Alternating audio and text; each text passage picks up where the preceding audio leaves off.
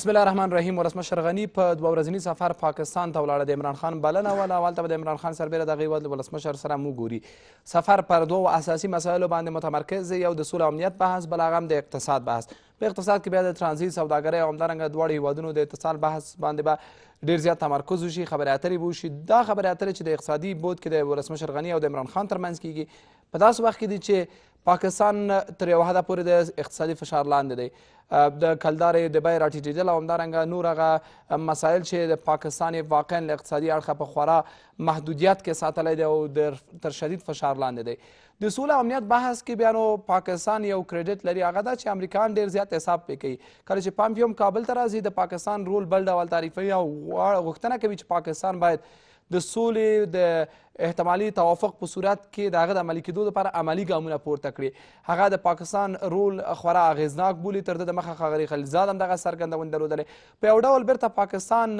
خپل هغه بایللی رول ترلاسه کړی دی او دا هغه څه دي چې دا ځل پاکستان په خپل لاس کې لري ولسمشر غني سفر هلته د اقتصادي خبرو اترو ترڅنګ پر سولې او امنیت باندې متمرکز هغه سوله چې اوس یې امریکایان ډېره پرمختللې بولي او وایي چې شاید دوه الا درې میاشتو کې د طالبانو سره توافق ته ورسیږي امریکایان د پاکستان رول هم تر ټولو مهم بولي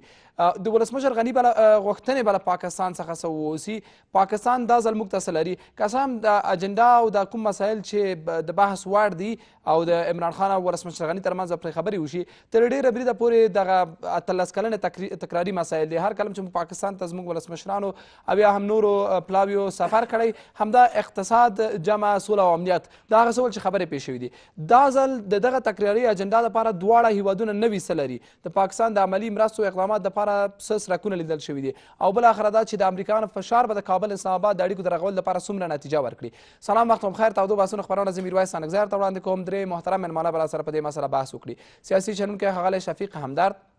د نوي ملي جبهې د رهبرۍ غړی ښاغلی وحیدالله غازي خیل او د اجرایي ریاست سلاکار ښاغلی حکمت صافی په خیر راغلی ښه راغلاست همدار صاحب د ولسمشر سفر نن ورځ د اسلام آباد ته څه توپیرونه لري له ټولو هغه سفرونو سره چې قسم ولسمشر یو بل سفر پاکستان ته درلوده او ښاغلي کرزي بیا ډېر زیات نور سفرونه درلودل په خپل وخت کې څه توپیر یې شته څه سربېره پر دې چې اجنډاوې سره ورته دي هماغه مسایل دي تکراري مسایل دي ولې څومره امیدونه شته چې هیوادونه دې واقعا واقعي همکاري ته زړه ښه کړي بسم الله الرحمن الرحیم ستانزه صاحب تاسو ته تاسو درنو ملمنو او درنو لیدونکو ته سلامونه لکه څنګه چې تاسو ویل تر ډیره حد پورې دا سفر هم یو دغه سفرو د جملې نه دی چې په تیر واتلسو کلونو کې په پخوانی حکومت کې زموږ پخوانی ولسمشر او اوسنی ولسمشر هم دوه ځله پاکستان ته سفر کړی وو او دا دریم ځلی سفر دی په مجموع کې سفرونه د ډیپلوماټیکو موخو لپاره د سیاسي، تجارتي او فرهنګي او ځینو نورو مسایلو لپاره کیږي او دا حتی د متخاصمو هیوادونو ترمنځ هم دا سفرونه د مشرانو د بهرنیو چارو د وزیرانو د پارلمان د غړو دا وخت نا وخت کیږي او دا کار د ډیپلوماسۍ او د روابطو یوه برخه ده ولسمشر هم په همدې نیت باندې په 2014 کال کې چې دلته یې واک ترلاسه کړ لومړی سفر یې پاکستان ته و او د ټولو ډیپلوماټیکو اصولو خلاف جی ایچ کیو ته لاړ هلته یې د راحل شریف سره وکتل یعنی خپل ټول خلوص او نیت یې د پاکستان اسټبلیشمنټ ته وښود چې په راتلونکي حکومت کې به هغه څه چې دوی د تیرو حکومتونه شکایت او ګیله درلودله د ده په حکومت کې به نه وي لیکن د ولسمشر د راستنېدو نه وروسته تاسو ولیدل چې پاکستان خپلې پالیسۍ ته خپلې ستراتیژۍ ته همدغسې دوام ورکړ او په افغانستان کې هیڅ هم بدل نه سول حتی د شاه شهید پیښه د ولسمشر د سفر نه ورسته په افغانستان کې پیښه سوله چې ډیر زیات تلفات هم درلودل او تر هغه ورسته یو ځل بیا روابط د دواړو هیوادونو ترمنځ ډیر زیات خراب شو ستانزه صاحب خبره دا ده چې قوي هیوادونه حد اقل د نړۍ تقریبا ډیر هیوادونه پرته له افغانستان نه کله چې داسې مسایل مطرح کوي د ځینو هیوادونو سره چې تاریخي، حقوقي، فرهنګي ځینې مسایل ورسره ولري، هغوی خپلې هغه لویې غوښتنې، ملي منافع، ستراتیژۍ او اهداف لري او دغه لنډمهاله او ظاهري سفرونه چې کېږي، د ځینو مقطعي مسایلو لپاره لکه د تجارت، لکه د ترانزیت لکه د راکړې ورکړې په مسایلو باندې استوار وي دغه سفر وضعیت څومره توپیر کړی ده هغه کسان چې سفر تاییدوي هغوی استدلال کوي چې دا استدلال د پاکستان د محدودیتونو مجبوریتونو نه راشروع کیږي وایي چې پاکستان په دغسې وضعیت کې د اقتصادي اړخه او د نړیوال فشار له اړخه بیا راځي تر دې چې د امریکا له اراده د سولې لپاره څومره جدي شوې ده کله چې د هغوی د بهرنیو چارو وزیر وایي چې په څو میاشتو کې به موږ د سولې توافق ته ممکن ورسیږو دا بحث مطرح کیږي کله چې د خلیلزاد هغه تاکید د پاکستان پر رول مطرح کیږي کله چې د افغان حکومت د د سولې دغه پروسه او د کې د افغان حکومت د غلط دا, دا بحث مطرح کیږي د ټول د پکاتو سره وایي چې وضعیت تغییر کړی دی د وضعیت تغییر واقعا څومره محسوس دی چې حتی د کابل اسلام آباد پر اړیکو د اغیز وکړي وضعیت تغییر کړی لیکن په دې وضعیت کې پاکستان خراب شوی نه دی بلکې ښه شوی دی تاسو وګورئ چې تر دوه زره اوولسم او اتلسم کلونو پورې یعنی د پاکستان د نړۍ په سطح پورې اته د افغانستان د خوانه د ترهګرو خطاب ورته کېده یا د ترهګرو د تمویل کوونکو خطاب ورته کېده د نړۍ په سطح لیکن نن پاکستان هغه رول نه لري په منطقه کې او د نړۍ په سطح باندې همغه ټرمپ چې په پاکستان باندې بندیزونه ولګول ټویټونه یې وکړل اقتصادي او نظامی بندیزونه پر پاکستان باندې ولګول خپل مرستې پرې بندې کړلې نن د مغه ټرمپ د ادارې د بهرنیو چارو وزیر یا ځانګړی استاد زلمی خلیلزاد د پاکستان یادونه کوي چې په دې برخه کې موږ سره همکار دي یعنی پاکستان خراب شوی نه دی پاکستان خپل پالیسی او ستراتیژي لري نه نهایت څومره توقع شته چې دا سفر دی لږ څه توپیر لري تر پخوا زه فکر کوم په تجارتي مسایلو باید تمرکز وي تجارت موږ ترانزیټي مسایل د پاکستان سره شته اقتصادي او سوداګریز مسایل شته دي تر ډیره حده پورې باید په دې شي او راغله د سولې مسله د سولې مسله په څو ځای کې شروع ده پاکستان یو ډیر زیرک هیواد دی تاسو به تر معلومه ده د انګلیس زیګند دی هغه ډیره فعاله ډیپلوماسي په دې برخه کې لري ګوري درې څلور ځای پاکستان لوبه کوي او د افغانستان د حکومت سره وای موږ روابط ښه غواړو یو څو ورځې مخکې یو څو سیاسیون ورغوښتي وو هغه سیاسیون چې حتی ځینې د افغانستان د وجود سره مخالفت لري د هغې راپورته کول او هغوی ته دا امتیاز ورکول حتی ځینې داسې کارشناسان وو چې ټل چې تل به د پاکستان بد ویل هغه یې غوښتي وو هلته دا د پاکستان بل رول دی بل د طالبانو په مسله کې بالکل د طالبانو ملاتړ او سپورټ د طالبانو سره ورسره دی بل طرف ته د امریکا سره لوبه کوي پاکستان په یو وخت درې څلور لوبي د افغانستان او د نورې نړۍ سره کې له بده بخته زموږ لوبه دلته موږ ته خرابه ده. پاکستان د امریکا د فشار له وجې مجبوره شوی نه دی چې همکاري وکړي په سوله کې؟ په هیڅ صورت پاک... امریکا ورته مجبوره شوې ده. دا غوښتنې د امریکا دي. دوی امریکا په دې باندې پوهیږي چې په دې منطقه کې تر پاکستان بل ستراتیژیک ملګری د دوی بل نه شي کېدلی. اتلس کاله په افغانستان کې کار وکړ، د پاکستان په نسبت افغان حکومت او افغانستان د امریکې دپاره ښه بدیل نه شو. یعنی هغه پروژی او ځینی لوی مسایل او اهداف چی امریکې ددی منطقې لپاره درلودل یا افغانستان حکومت ونه توانید چی هغه ورته پلی کړی یا داسی قوت یې ورته څرګند نه کړ لکن پاکستان په دی تیرو یو اویا کلونو کی هر وخت چی امریکا تری غوښتی هر وخت چی سیاحې تری غوښتی دی ډلی یې هم ورته جوړی کړی دی دولتونه یې هم ورته راپرزولی دی مختلفې پروژې دلته ورته عملي کړې دي نو امریکا د راتلونکو سلو کلونو لپاره فکر کوي نو په دې اساس باندې د افغانستان وضعیت هم ګوري چې په خپل مابینځو کې څه رقم دي سره سیاسي وضعیت په کوم حالت کې دی امنیتي وضعیت په کوم حالت کې دی نور مسایل په کوم حالت کې دي نو په دې لحاظ باندې امریکا ته یو ځل بیا دا برېښېدلې ده چې د افغانستان په نسبت موږ باید په پاکستان باندې اتکا وکړو او هغه فکر چې پاکستان د امریکا د پاره درلود د نورې نړۍ د پاره یې درلود چې باید د پاکستان د کړکۍ نه افغانستان ته وکتل شي له بده بخته په دغه فکر کې یو ځلې بیا پاکستان بریالی شو او موږ ناکام. ډېره مننه کور ودان سلامت اوسئ. ښاغلی غازي خېل د ولسمشر دا سفر به څومره لاسته راوړنې ولري؟ ښه د سوداګرۍ په برخه کې ممکن پاکستان لکه ګاونډي سره غواړي چې ښې اړیکې ولري ترانزیت وي دا وي هغه وي هغه جوړیږي هغه په هر صورت ډېر حساس مسایل نه دي تر ټولو حساس مسایل د سولې او د امنیت بحث دی د امریکایانو رول دی د سولې خبرې اترې دي په دې کې به ولسمشر غني له پاکستانه ډک لاس بېرته راشي که نه ډیره مننه خوشاله یم چې له تاسو سره بحث کې به بدون له شکه دوی خو ویلي چې په څلورو موضوعاتو به افغان ولسمشر له دوی سره خبرې کوي خو مهم موضوعات به پکې د سولې د امنیت وي له دې نه مهم به د دغه ناباورۍ فضا چې د دواړو هیوادونو ترمنځ ده د دې د ختمېدو لپاره به ولسمشر هم کوشش کوي پاکستاني چارواکي به هم کوشش کوي زه فکر کوم دغه سفر د دواړو هیوادونو د اړیکو ترمنځ یو ښه پرمختیا ده او ښه پرمختګ به وي او دا کوم موضوعات باندې به چې دوی هلته بحث کوي لکه د اتصال موضوع ده د ټاپي پروژه ده فرضاً ټاپي پروژه له افغانستان نه تیریږي پاکستان ته له پاکستان نه هندوستان ته پاکستان او افغانستان دواړه انرژي ته ضرورت لري افغانستان د ترانزیت نم پیسې اخلي او دونه غاز به ورته دغه کیږي چې په پاکستان هم خرڅول شي په دې کې هند او ایران ناخوښه دي ایران وایي چې د افغانستان نه د نه تیریږي زمنګ لاره دي تیر شي او هند بیا انرژي ته دومره ضرورت نه لري لکه څومره چې پاکستان لري هغه علاقه مندي نه لري هم دغه علت دی چې دا پروژه په ټپه ولاړه ده او پرمختګ پکې نه کیږي سره د چې څو ځله د افتتام شوله د ولسمشر لخوا په هرات کې په نورو ځای کې نورې پروژې چې د افغانستان پخواني مارکیټونه چې دي د وچې او تازه میوې لپاره هند او پاکستان دي افغانستان غواړي چې د هند بازار ته د واګې لارې لار پیدا کړي چې دا ډیره اسانه ارزانه راځي پاکستان غواړي چې د افغانستان لارې ترانزیت منځنۍ اسیا ته خپل مارکیټ پیدا کړي پاکستان یو صنعتي هیواد دی هغه به هم دا کوشش کوي د انرژۍ باره کې به هم ډیر دغه کوي خپل صادرات واردات واردات خو ډیر کم له اسیا مرکزی اسیا نه لري خو صادرات ډیر ورته لري په دغه موضوع بل موضوع د امنیت ته چې امنیت د دواړو هیوادونو کپ پوله باندې څه کیږي دواړه هیوادونه ته متضرر کیږي د ناباوري فضا د دواړو هیوادونو ترمنځ ده د سولې موضوع ډیره زیاته مهمه ده چې د پاکستان نقش لکه تاسو چې ویلي همدرد صاحب ویلي چې د امریکا خارجه وزیر ویلي چې د پاکستان له نقش پرته په افغانستان کې سولې امکان نه لري نو د پاکستان رول د سولې کې ډیر زیات مهم دی په ترانزیټ کې کله کله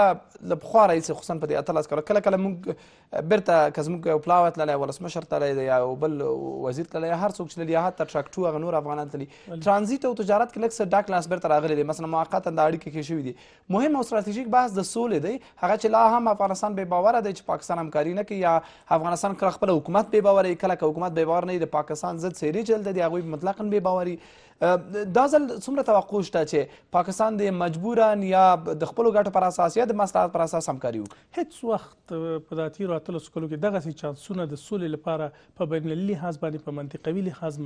میسر نه ولکه اوس چې دي اوس منطقه غواړي چې په افغانستان کې سوله وي قطر کې خبرې شروع دي امارات غواړي روسیه غواړي ایران سفیر هم ویلي چې دوی غواړي طالبان په واک کې شریک شي پاکستان هم هڅې کوي طالبان تقریبا د دوی له افغان حکومت یا امریکا له رول نه خوشاله ده چې طالبانو باندې کوم نفوذ دوی لار حاضر کړ چې خبري وکړي نو زه فکر کوم له بل هر وخت نه یو نوې چپټر پرانستل شوی دی د افغانستان او پاکستان ترمنځ او کولای شي چې د سولې په ارتباط باندې ډیر ښه پرمختګونه وشي ځکه چې د سولې نپرته که سوله وي په افغانستان کې امن وي دا یو پر امن افغانستان منطقي ته بالخصوص همسایګانو تم په ګټه دی که په افغانستان کې جنگ وي دا د منطقي په ګټم نه دی بالخصوص د همسایګانو په ګټم نه دی بل موضوع د مهاجرینو د چې متاسفانه ولسمشر په دې ارتباط خبرې ونی کې دوی څه ونه ویلې بل د ویزو مسله ده چې متاسفانه زموږ ډیر زیات خلک دا اوس پاکستان ته روان دي د ویزو مسله ده که خدای دې وکړي چې ولسمشر دغه موضوع هم ووایي د پاکستان سره چې یا دا ویزې له منځه ویسي د دواړو هیوادونو ترمنځ لکه د کرزي صاحب په وخت کې چې وي یا ورته دوی خپل کسان زیات کړي چې د ویزې کې اسانتیاوې راشي ځکه زمونږ ډیر خلک د جلال آباد نه د کابل نه ځي په زرګونو خلک ولې د دوی درې زره ویزې دي که څلور زره ویزې دوی ورکوي ولې بیا هم خلک په نیمه شپه باندې هلته ودرېږي ورته دغه یعنې په دغه موضوع مهاجرینو موضوع ده چې په دې باندې باید خبرې وکړي متاسفانه په دغه څلور دغه چې دوی یاد کړي دي د ولسمشر د ویاند مرستیال په دې کې د مهاجرینو د ویزو مشکلات نه دی ویل شوی چې په دې بم دوی الته خبرې کوي ولې ډیره زیاته مهمه ده چې په دې باندې خبرې الته وشي د سولې موضوع ده په هغه باندې زه فکر کوم پاکستان به افغانستان ته ډاډ ورکړي چې دوی به د تیر په څیر باندې یعنی لکه په څو کلو څو موده مخکې چې څه کړي دي کومې هلې ځلې کړي هغې باندې به هم ډاډ ورته کړي د امنیت په ارتباط تاسو مهم مسله ته اشاره وکړه د ټولو مسایلو هغه هغه کور یا هغه عمومي عنوان همدغه باور دی د دواړو هیوادونو ترمنځ هغه باور چې لا هم کابل پکې زړه نازړه دی او فکر کوي چې اسلام آباد یې تیر باسي یا حتی اقل د سیاسیونو نظریات د یو شمېر سیاسیونو نظریات دا دي چې اسلام اباد هڅه کوي له د فشارونو څخه ځان وباسي دغه دغه یو ښه لاره ده ورته د کابل سره د اړیکو رغېدل د اسلام اباد یوه غټه ګټه چې رسوي هغه دا ده چې نړیوال اذهان او هغه فشار چې پر دوی متمرکز دی هغه یې اوس منحرف کوي یا مثلا بحث دا دی چې ښه اوس ولسمشر غني هلته ځي اسلام اباد سره خبرې اترې لري او عمران خان سره خبرې اترې لري دا څلور نیم کاله وروسته دی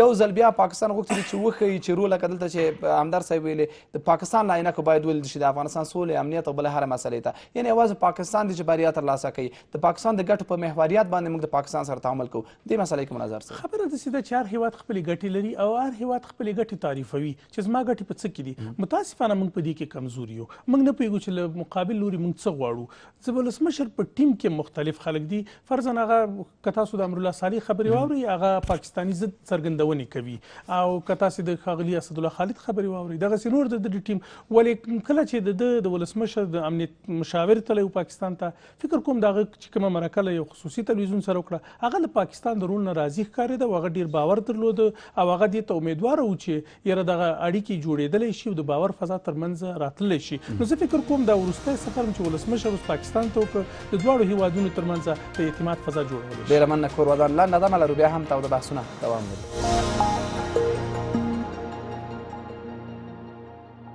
بیا هم ښه راغلاست ښاغلی پاینده دلته بحث د باور دی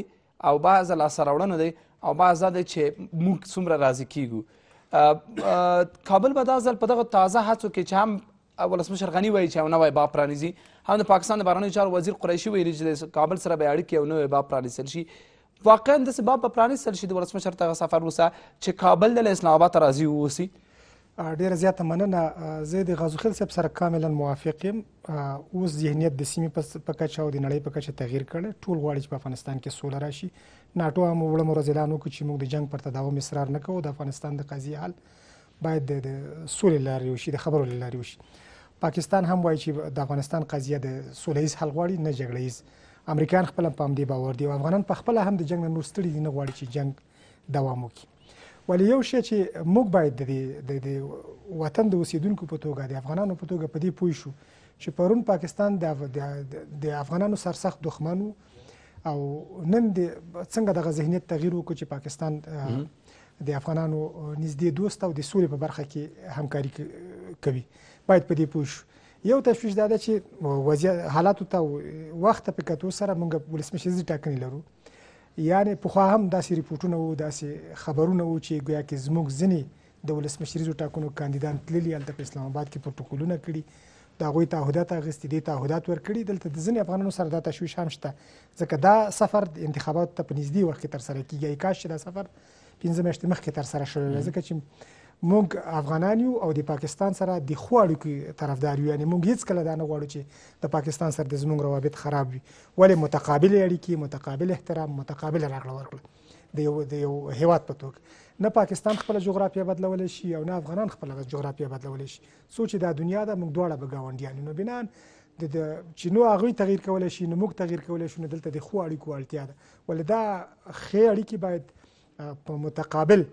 یا په متقابل احترام بنا وي د زما په یاد کال دوه کاله درې کاله مخکې حتی په لومړیو وختونو کې چې ولسمشر غني لاړه پاکستان ته د واک په لومړیو میاشتو کې هغلته هم عین تبصرې کېدلې چې وضعیت تغییر کړی د سیمې وضعیت تغییر کړی امریکایانو فشار راوړی دی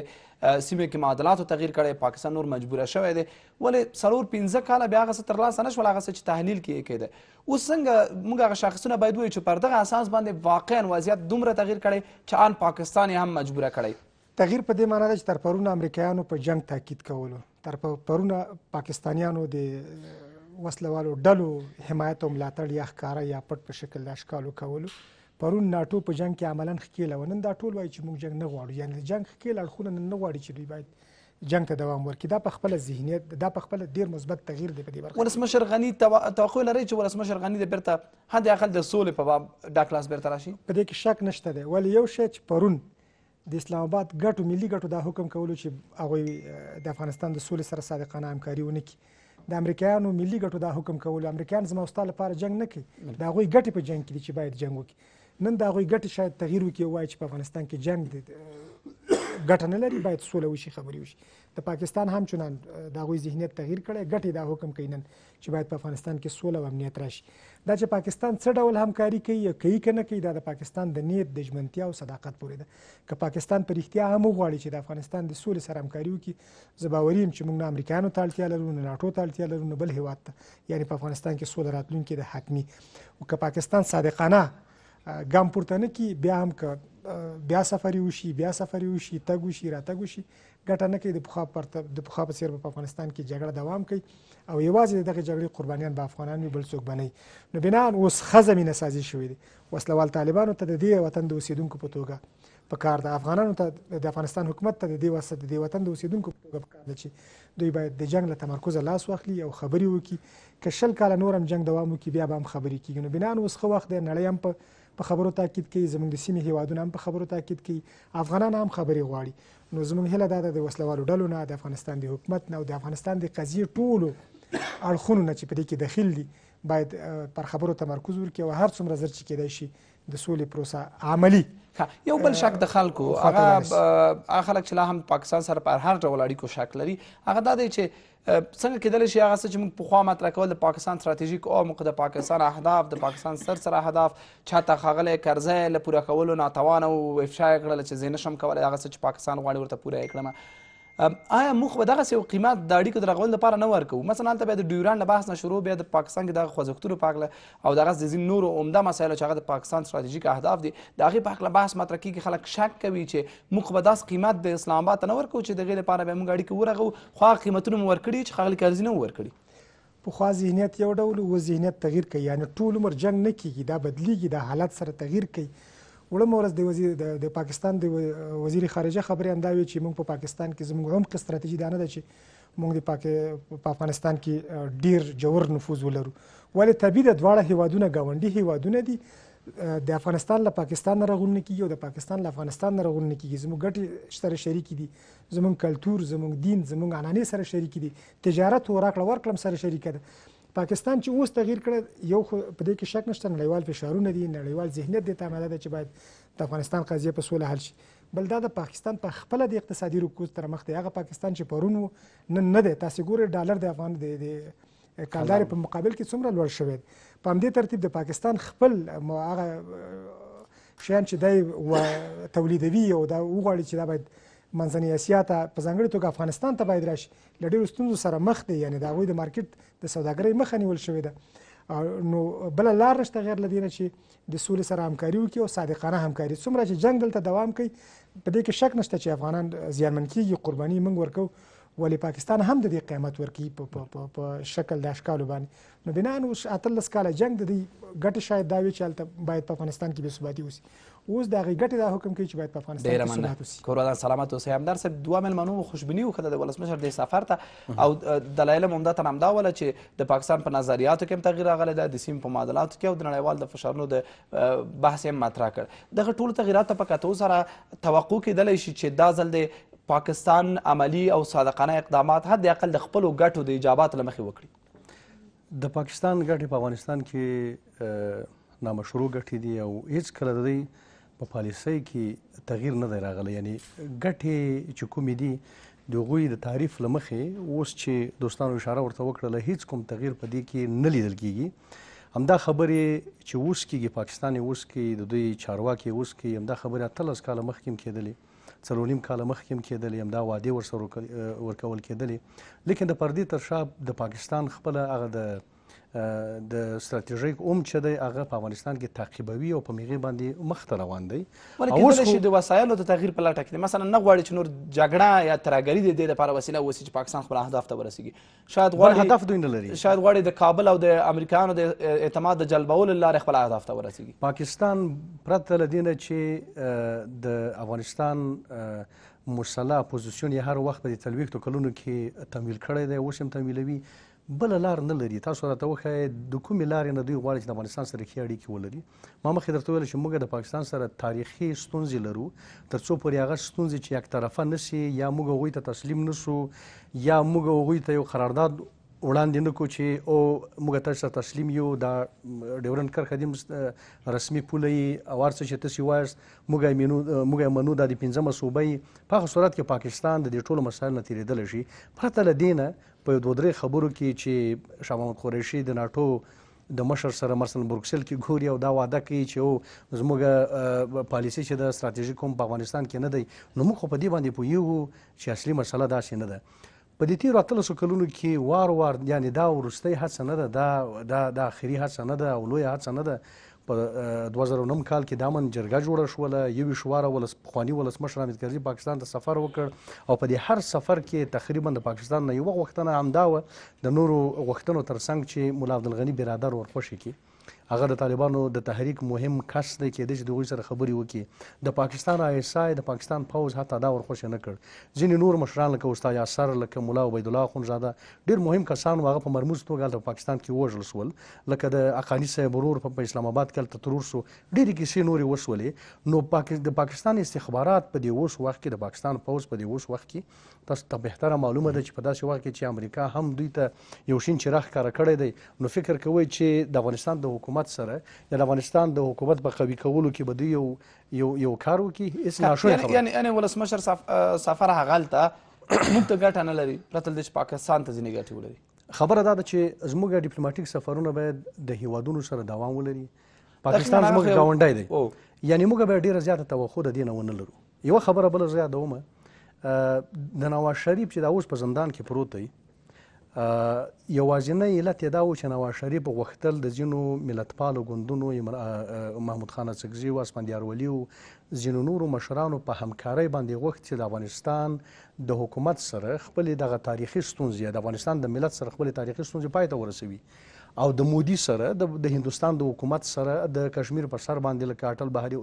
بهاری واجپای چې یو پروسه د امن آشا شروع کړې و دا مسله یو طرفه کی لیکن نن دم دغه سیاستونو چې نواز شریف درلودل چې پاکستان مستقل کی د آی اس آی او د پوز د چنګال نه وباسي نن هغه په زندان کې پروت دی او عمران خان خو د پوز په لاس راوستل شو یو څوک دی کومه پالیسی او ستراتیژي چې پوز ورته ورکوي کومه حتی دا بیانیه چې دی یې کله په تلویزیون باندې وایي هغه پوځ ورته لیکلي نو د دې نه خو هیڅ توقع نشته ده دا سفرونه باید که موږ که امریکایان فشار راوړي مثلا بعض امریکایانو که کیږي لکه دلته چې د امریکا د بهرنیو چارو وزیر ویلې او امریکایانو ته دا ځل مهمه ده چې د طالبان سره توافق باید نتیجه ورکړي حداقل هلته د ټرامپ د ادارې لپاره دا مهمه ده نو دغسې وضعیت کې به امریکایان دوی مجبور نه شي کړی چې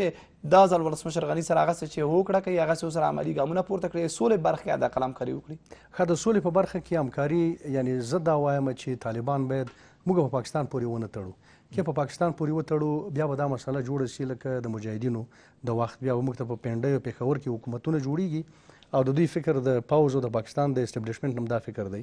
موږ باید دا فکر نړیوالو ته طالبانو ته او خپل دولت او ملت ته دا ورنکو د طالبانو د پاکستان د لاس آله دي اوس صحیح ده تاثیرات به ډیر زیات دي پر طالبانو باندې هیڅ امکان نه لري مولا عبدالغني برادر هلته په زندان کې او نور مشران یې شته کورنۍ یې ملته سته دي لیکن خبره دا ده چې موږ باید طالبانو سره مستقلا خبرې وکړو او یو نتیجې ته ورسره ورسېږو دا رول موږ نه ورکوو دا رول امریکایان ورکوي هغه څوک چې موږ مقابل کې بیرته څه نه شو ویلی خو خبره دا ده چې موږ د امریکانو یعنی دا خبره داسې نه ده چې موږ د امریکانو مقابل کې باید یو دریځ ولرو که موږ ځان ته یو مستقل دولت او حکومت وایو. نه امریکایانو شاید لیدلي امریکایانو شپږ پړاوه خبرې طالبانو سره مخامخ کړي امریکایانو شاید لیدلي دي چې بیا دې نتیجې ته رسېدلي چې د پاکستان له همکارۍ پرته طالب سره زموږ خبرې نتیجه نه ورکوي ښه بیا دا خبرې نه کوله ولې باید پاکستان ته کریډیټ ورکړي ښه بیرته باید بنسټ ته لاړ شو ښه دا خبرې ولې کیږي طالبان ترهګر دي که طالبان ترهګر وو اسامه بن لادن او القاعده دوی روزل او د دوی ملګري وو او د نیویارک دا پېښې وشولې. اسامه بن لادن او نور ملګري یې خو بل چېرته پیدا شول. ولې په هماغه پاکستان باندې فشار رانغی؟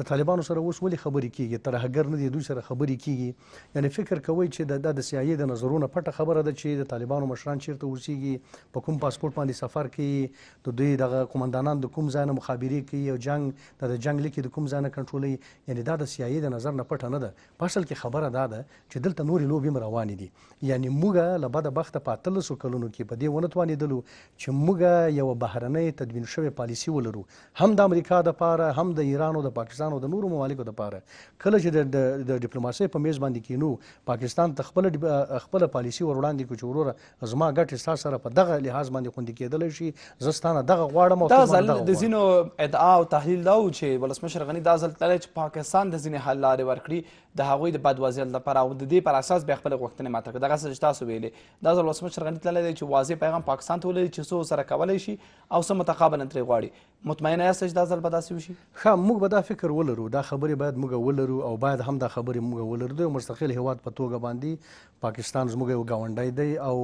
صحیح ده که په ځینو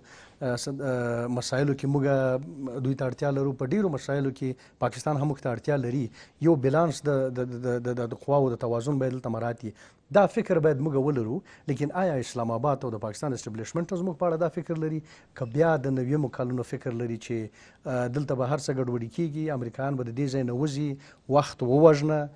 سیاسیون هم په لاس کې واخله د افغانستان حکومت سره هم یو لوبه وکړه بالاخره یو ورځ به داسې وخت راشي چې موږ به بیا په اسلام آباد او پنډۍ کې حکومت ورته جوړ کړو دلته خو د قدرت لیونیان ډیر زیات دي تاسو وینئ چې په یو یو یو هغه بنسټ معلوم هم نه دی چې کوم بنسټ دغه د مری غونډه تنظیم کړې و د دې ځنه ډیر غټ غټ خلک د دې ځنه ورغلل هلته وسره کېناستل د بهرنیو چارو وزیر د یو دوه د خو د پاره راغی نور هغه غونډه تاسو وګورئ د قدرت لیونی شته دي چې دوی بیرته دلته تمویل کی نو خبره دا ده چې اصلي مسله په موږ کې ده زموږ په حکومت کې ده زموږ په سیاسیونو کې ده حتی زموږ په ملت کې ده د سفر یو اساسي هدف همدا موبایل شوی لکه د غازی خیر صاحب چې شرو کړه چې یو باور احیا شي دواړو هیوادونو ترمنځ او بل اخره پر یو بل باور وکړي شي او د اړیکو یو نوې باب فصل پرانیستل شي کله چې تاسو لا هم بې باوره یاست څنګه کېدلی شي چې هغه مرحلې ته ورسېږو چې په واقعي معنا د اړیکې یو نوی فصل له پاکستان سره پرانیزو او د باور فضا رامنځته کړو موږ د پاکستان سره مخکې ما درته ویل چې موږ مشکلات لرو هغه که موږ یعنی صادقانه د پاکستان سره کینو او د دې ملت استازیتوب که موږ کوو ورته وایي چې وروره د ډیورنډ کرښه په خپل ځای باندې ده په دې باندې ډیرو خلکو سرونه خوړلي دي په هیڅ صورت یې نه درسره منم او دا نه منل کیږي او نه زما د واک خبره ده او نه د د منلو خبره ده هغه دی په یو ځای اوس راځه هغه به وخت پریږدو هغه چې او خو خو ته به پریږدو هغه به نړیوالو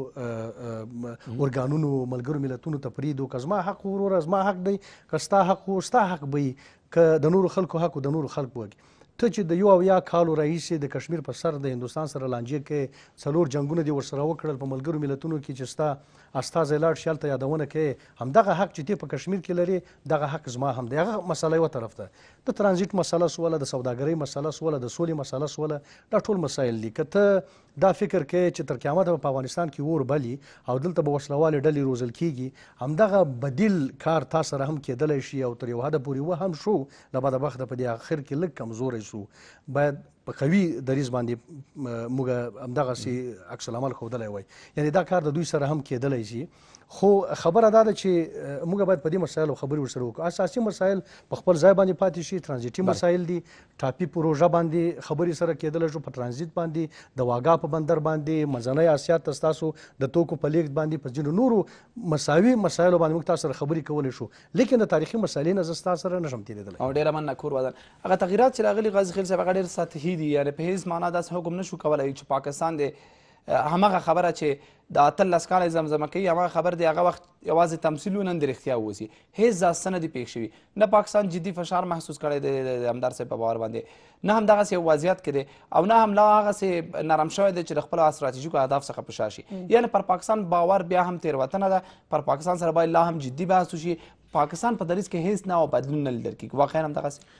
ګوري خبره داسې ده چې په سیاست کې صداقت نشته په سیاست کې ګټې مهمې دي څه چې زموږ ګټې حکم کوي ما ویل کنه اوس موږ ضرورت لرو سولې ته او سوله کې د پاکستان د روسیې د چین نو د امریکا د دې رول ډیر زیات مهم دی خکه موږ په پاکستان هم انتقاد کوو په روسیم کوو په امریکا هم کوو په نورو هم کوو د شک پستر ګورته ګورو آیا موږ خپل سوله راوستلی شو خپل دې ته متحد یو خپله دا هیواد خپل ګڼو دا ملت خپل ګڼو په دې ملت هم زړه درد کوي چې ورځ یې درې سوه کسان ولې موږ قرباني ورکو موږ دې ته اماده نه یو چې د واکه تیر شو موږ وایو چې د سولې لپاره باید هر قیمت موږ پرې کړو خو چې سوله راشي دغه وینه بندي شي اوس همدا چې هر قیمت موږ پرې کړو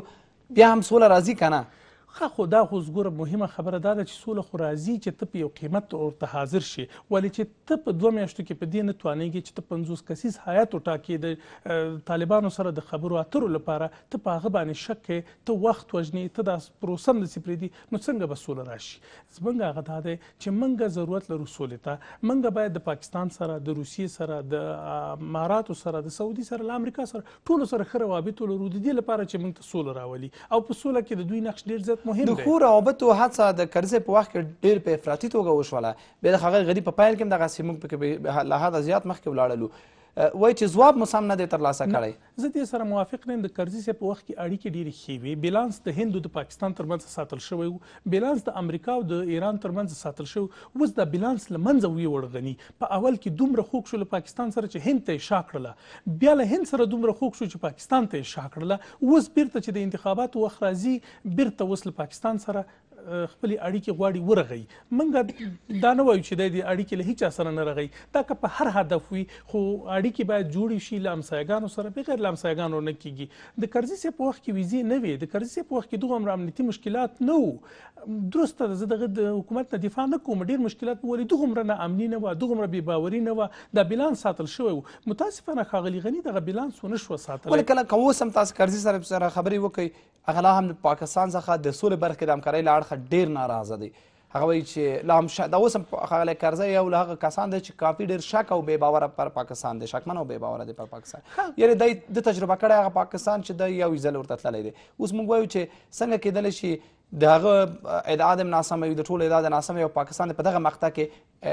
واقعا د خپل ګټو لپاره د ماده خل موږ سره هم کوي کرزي صاحب دغه کوي کرزي صاحب په امریکا باندې شک لري او لري بالکل کنه خو د امریکا له رول نه پرته دلته سولې امکان نه لري د پاکستان د رول نه بغیر دلته سولې امکان نه لري کرزی صاحب ډیر تاکید په دې ده چې منطقوي هیوادونه دې په دې کې شامل شي فرضاً چین دې شامل شي شامل دي شي روسیه دې شامل شي هند دې شامل شي هند بیا دلته هم رول نه لري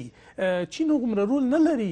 روس دغه رول نه لري لکه پاکستان چې لري لکه امریکا چې لري بل مسله دا ده چې تاسو د پاکستان اقتصاد ته وګورئ د پاکستان اقتصاد دا حکم کوي چې دوی دلته په ستراتیژیک عمق ولري منګه دلته له امریکا پرته چې دا مرستې له موږ سره کوي نه روس راته کولی شي نه چین کولی شي هیڅ هیواد یې بل نشي کولی پنځه میلیارد امریکایي ډالر یوازې د جنګ لپاره موږ ته امریکا متحده ایالات راکوي نو دا پیسې نه موږ ته پاکستان خو نشي نشي راکولی روس هم نشي راکولی بل هیڅ هیواد موږ ته نشي راکولی زمونږ ستراتیژیک دوست چې دی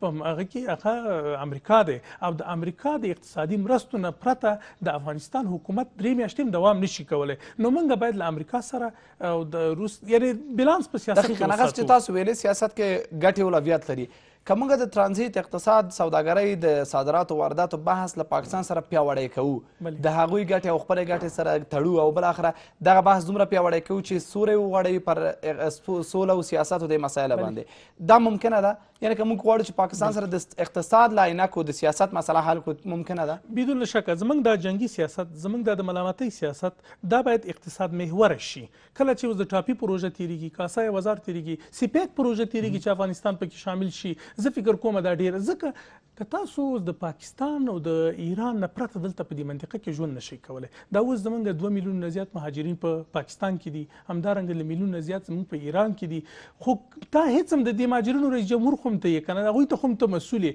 ته د رئیس جمهور غني په تیرو څو کلونو کې هیڅ ونه کړل، فقط په ایران باندې اوبه بندوم، هلکه اوبه دې بندې کړې،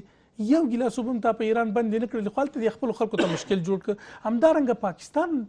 او هندوستان د افغانستان لپاره زاړه مارکیټونه دي د منګه تازه میوه وچه میوه له دغه لارې نه نورې دنیا ته ځي چابهار بندر زمونږ نه ډیر لرې پروت دی لا تر اوسه آماده نه دی صادرات واردات ته ولې کراچۍ مونږ ته ډیر نږدې دی یعنی که په اقتصادي لحاظ وخې که د ماجرینو په لحاظ وخې که په کلتوري لحاظ وخې که په مذهبي لحاظ وخې له ټولو نه زیات مونږ ته پاکستان او بیا دویم ایران مونږ ته نږدې دي چې له دوی نه بغیر مونږ نشو کولای دلته ژوند ځکه چې صادرات واردات د دوی له لارې مونږ کوو او ځکه موږ په وچه کې راګیر هیواد یو خو که چیرته ته ورسره اړیکې خرابې دښمنانه سیاست ورسره کې هغه کیږي نه خو کې کې بیا به د ماجرین را وباسي بیا د لارې بندې کا د ایران سره هم بندې کله پاکستان سره هم بندې امریکا ان څومره لیواله دي چې دغه اړیکې په دغه مقطع کې د عقل د غوي د سول د ماموریت د بریا لپاره دلته د اړیکې جوړې شي دغه سفر د ولسمشر په داسې وخت کې کېده چې له دې نه مخکې یوه ورځ د امریکا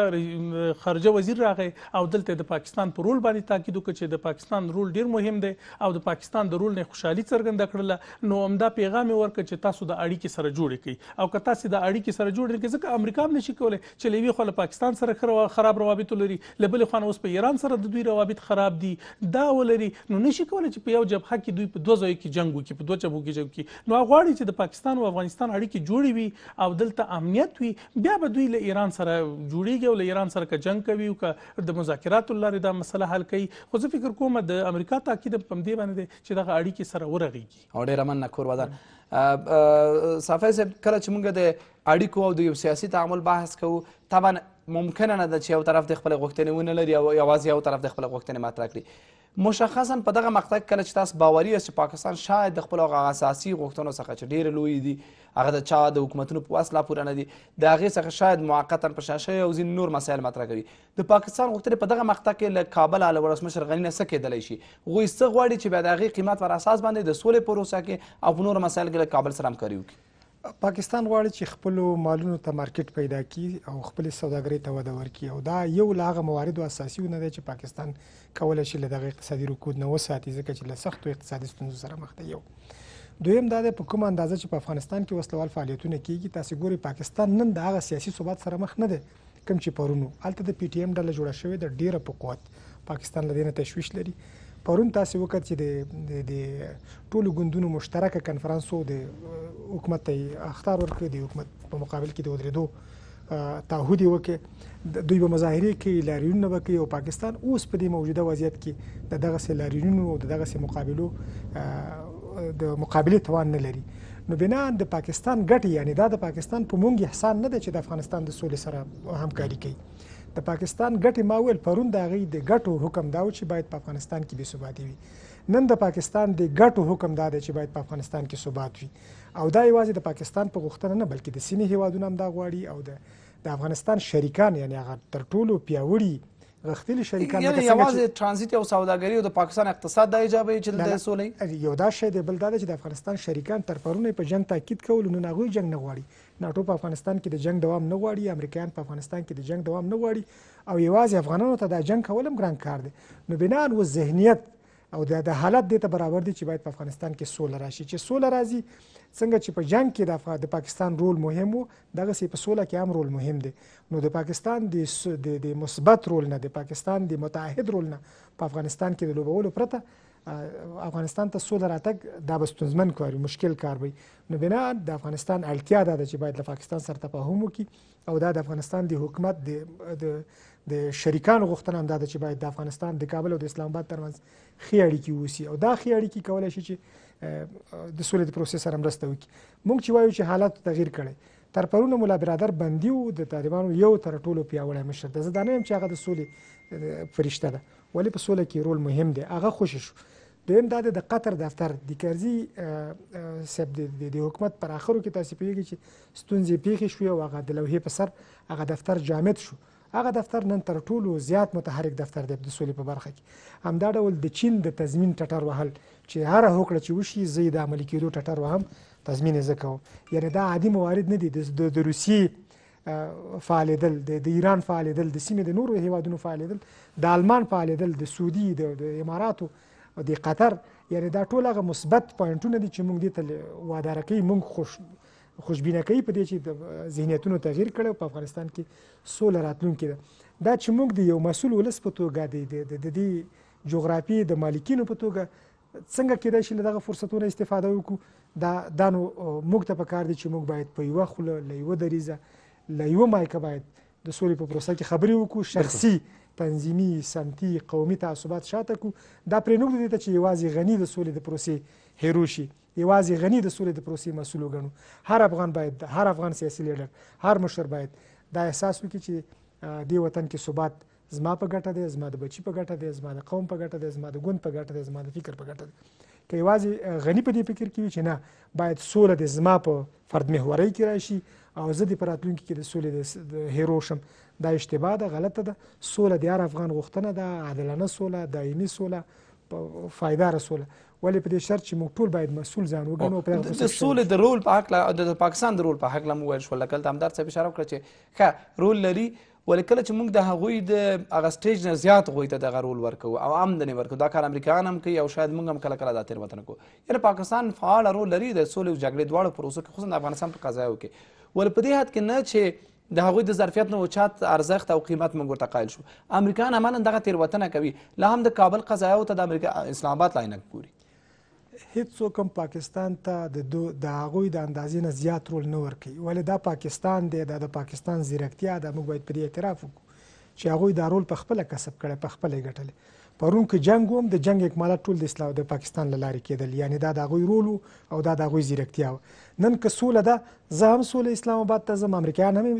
اسلام آباد ته ځي روسان هم اسلام آباد ته ځي زموږ سیاسي رهبران مذهبي رهبران هم اسلام آباد ته ځي یعنې دا د پاکستان د سیاسیونو ځیرکتیا ده چې دغه سټیج خپل ځان ته ورکړي موږ هم زما تاکید دا دی د یو افغان په توګه موږ هم باید د یو مسول دولت په توګه، د یو مسول ولس په توګه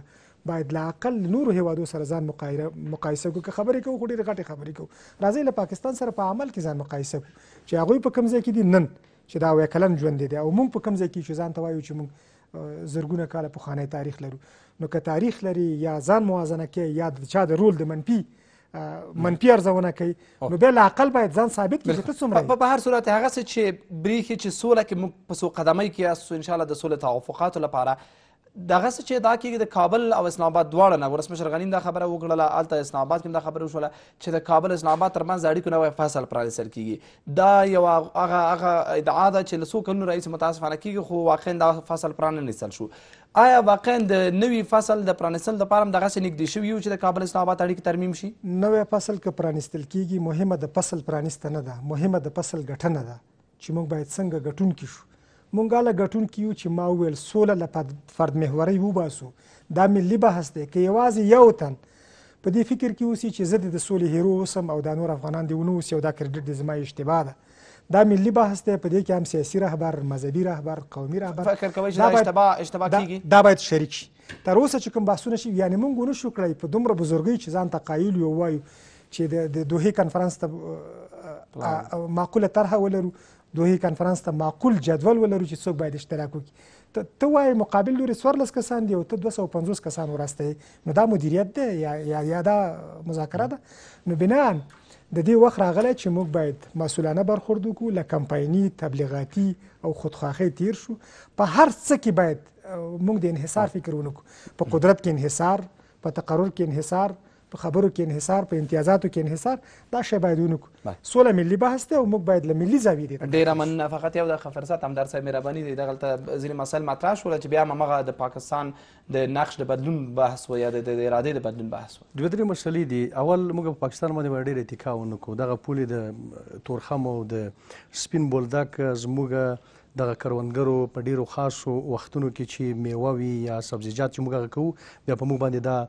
پولې بندوي او موږ د مشکلاتو سره مخ کوي موږ باید په پاکستان اتکا ونه کړو د چابهار بندر یو ښه بدیل دی نورې لارې ډېرې ښه بدیل دی خو که ښه بدیل وای باید بریالی شوی وای متاسفانه باید بریالی یې کړو بده بخته موږ مشکل بریالی نه او بله مسله دا ده چې که موږ دلته تنها په ډاکټر صاحب اشرف غني باندې انتقاد کوو د ډاکټر اشرف غني ترڅنګ ډاکټر عبدالله هم دی د حکومت مهم کس دی هغه هغه صدراعظم ورته ویل کیږي حکومت هغه وزارتونه ورسره تقسیم دي